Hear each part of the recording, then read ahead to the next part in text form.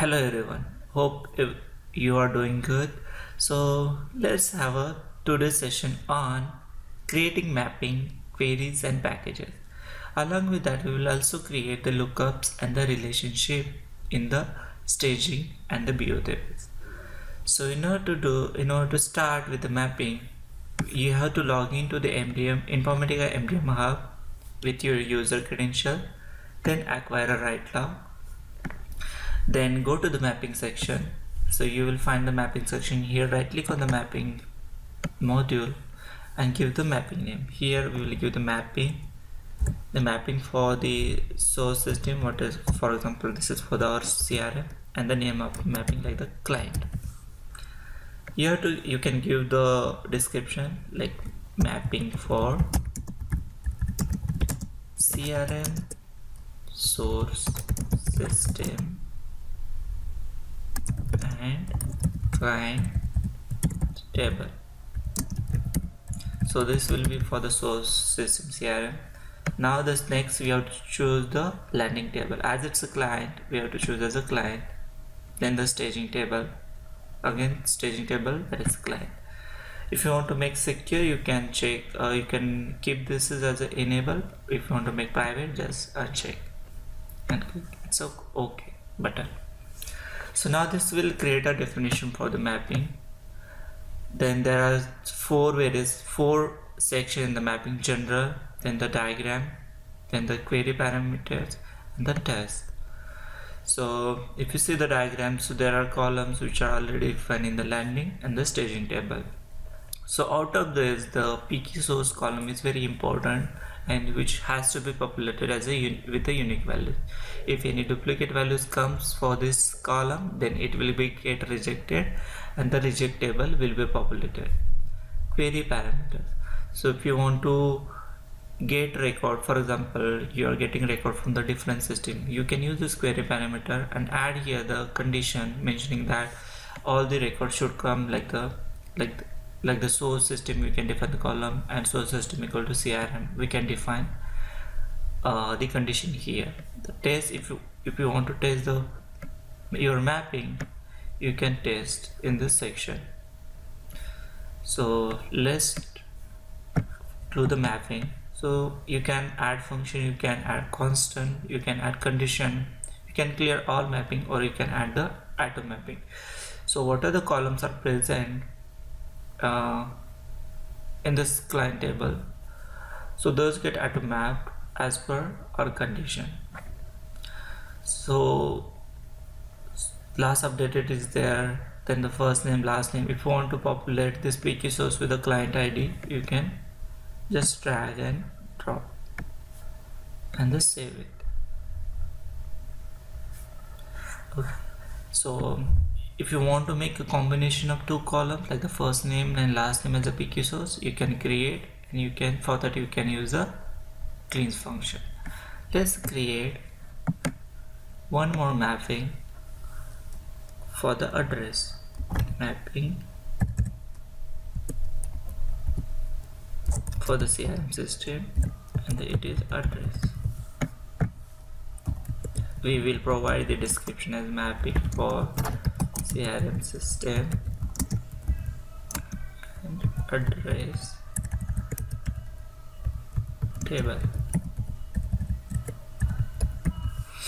So as you understand we have to provide the landing address table and staging address table. We will disable for now.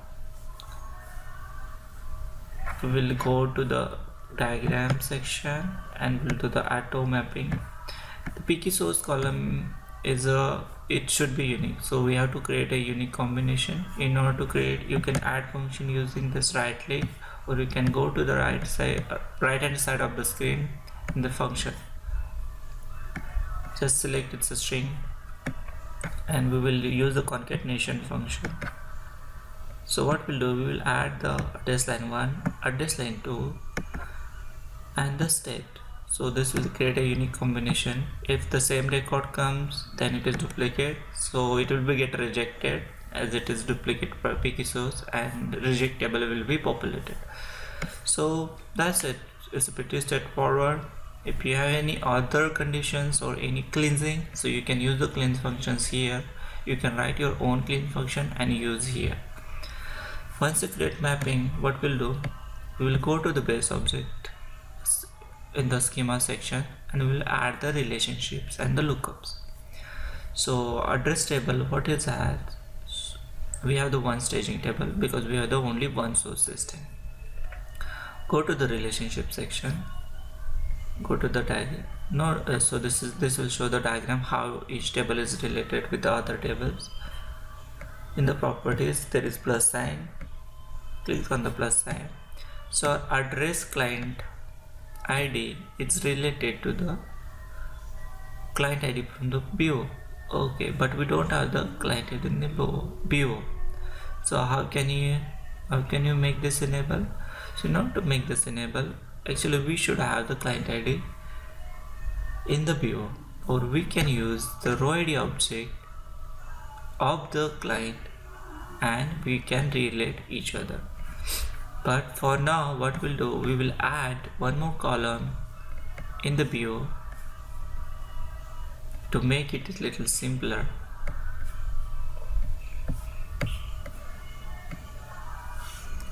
So what we are doing we are preserving the primary column from the source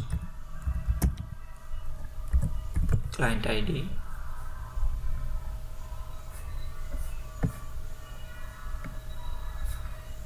so before that we have to verify what is the client ID's length in the address table. So if you see the client ID is its integer so so in the client table we have to change from this varchar to the integer. But we can't change. So in order to change as I mentioned in the earlier tutorial you have to delete this and you have to add it again and make sure your data type should match. Otherwise it will it will not allow you to do the mapping. And it is in the client table so it should not be nullable. And we are going to save it so once we populate in the BO we have to same populate in the staging as well. So you can see you have to just enable this and save it so that it is available in the mapping. Once it is available go to the client mapping. So this is the third time you have to do the update. Now the client client id is enabled here. So you just drag drag and update. Just save. Now you are done with the mapping. The important section we are again go will go back and do the our relationships. So now if you go to the relationship again go to the plus sign. Now you will be able to see oh again we are not able to say what's the reason? The reason behind is that if you are making any your business column to be available for the relationship you have to make it as a unique so go to the client and otherwise it will not allow. So we have to make it unique and save it let's see whether it is available or not now. So what we did we went to BO client table selected the columns from the BO and we make the client ID as a unique. In the relationship we will see whether that column is available or not. Wow it's available now. Let's do the relationship. Select the client. Client ID from the BO address table and the client ID from the client it should be available here. So and the other details you can see in the section below. Relationships detail section. Once it is done we have to go to the staging table and provide the lookups. So we have the client id select that column. Edit it. And which column you are going to do for the lookup you have to view that column here. So now the lookup table is BO client and the lookup column is client ID so that's it. We have added the relationship we added the lookup. We will say on the same line you have to do the other things also. Like here we have added the state. Instead of state you can create a lookup or reference table for the state and you can add the lookup for the state.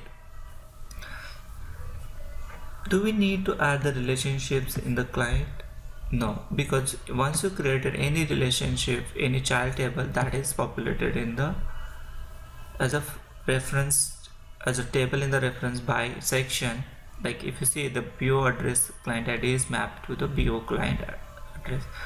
If you want to add it is not possible to add any relationship client because client is a parent and we can't relate the client with means parent with the child. We can relate the child with the parent not with the reverse case so this is done any reference any lookup for our clients? Can go ahead. There is no lookups because client data is populated within the client table. So that's it. We are done with the lookups and the relationship. So now the next thing we will create the queries. So the queries are nothing but this uh, like the select question uh, select sqls or the, the sqls which will be used for the insert and the update operation. So in order to do that we have to first add the query group. So in here we will create two types of query groups. First is query group for display. So this query group. And we'll create one more query group that is for the update or insert so we will call as a put. Put query group. So we are done with these two query groups. Now now in the display query group we will add the queries. Go right click on the display query group select a new query. There is one dialog box will open with the we have to follow the steps to create a query. So it is two steps process. The first step will be you have to provide the query name. So here what is the query name? So we are going to create a query for the address and the queries for client table. So what we'll do query q r y we will create query for address here the query group you have to select it is display and the column. Uh, you can for the display queries you can use any of the table like the repos table or BO tables or the landing table. Make sure if you are able to see all those tables here. So have you noticed you are not able to see any of the landing table?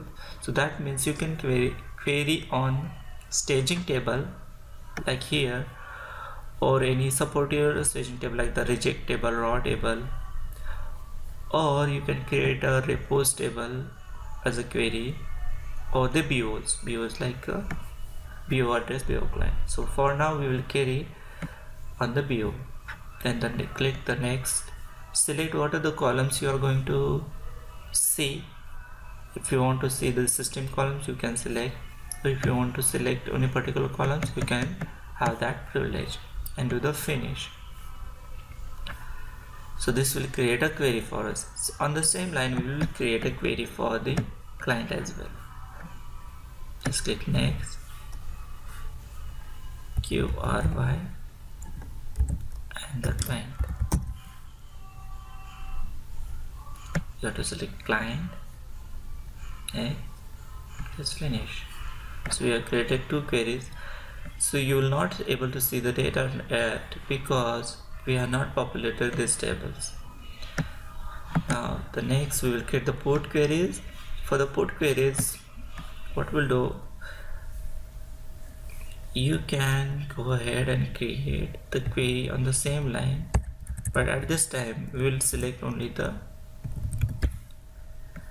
the table which are only views so if you select any other table we can't able to update or insert record in other table like the repos table. So it says the query with the specified name is already exist. So again even we have select the same different query group it is saying the query is already present. So what we'll do we will add extension called as a put here what we'll do we choose we will choose only the important columns where we can do the update operation. Like the deleted by or the any other indicators we will not select. Because this is just kind of the put queries. If you want to insert updated by this automatically will insert. And these are the support business columns. So we have the put queries. And uh, again on the same line we'll also create other query. Now the thing is that you can use the same queries for the both the display and the put but here as our demo purpose we are creating two different queries.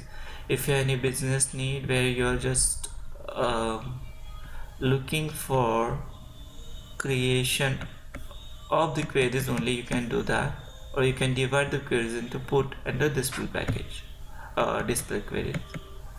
That's it. So we are done with the queries as well. The next thing is package. So in order there are two types of package. One is display package other is the put package. Display package is used for the displaying the record while the put package is used for the inserting and updating the record.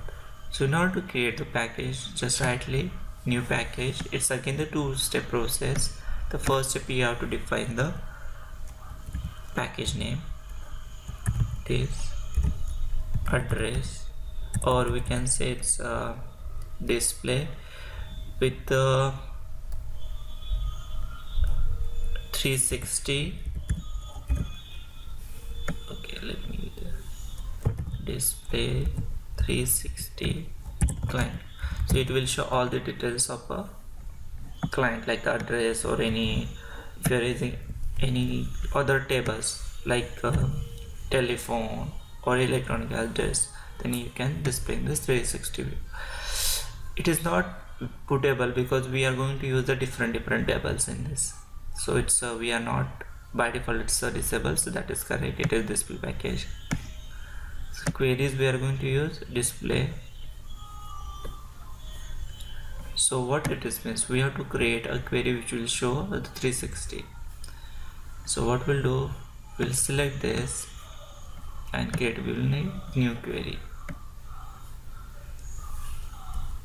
So again it's a display 360 client primary column we have to select client go to the next. It is display so we can use as many columns as we want. Finish. And just do the finish. So if you remember we have just selected one table here. Okay that is that is client. So how to make it should have some other columns also for like the address. So in order to do that just go to the client 360 client query. So you will see the screen add button and select the address. So it will automatically select the relationship column and it will do the relationship. If you go to the select queries you are not able to see any of the address column. So in order to add that just click on add. Expand the address and select the address columns. And you're done just save it. And you can see in the package section now you can see okay this is the pack display 360 client package and you can see the address columns. I will rename this little okay this is display client that is correct. So we are done I think